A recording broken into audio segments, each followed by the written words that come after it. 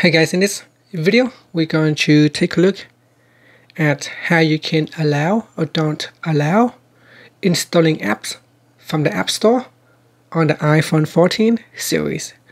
First, let's go back to the home screen by swiping up at the bottom of the screen. And on the home screen, tap on the settings. In settings, scroll down and tap on screen time. Next, go down to content and privacy restrictions. At the top here, make sure you turn on content and privacy restrictions.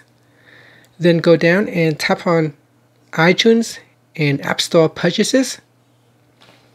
Next, put in the screen time passcode. Then tap on installing apps. And in here, select either allowed or don't allowed. If you want, if you don't want um, to allow installation of apps, you can select don't allowed.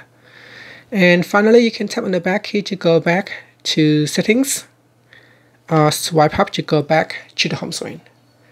And that's it. Thank you for watching this video. Please subscribe to my channel for more videos.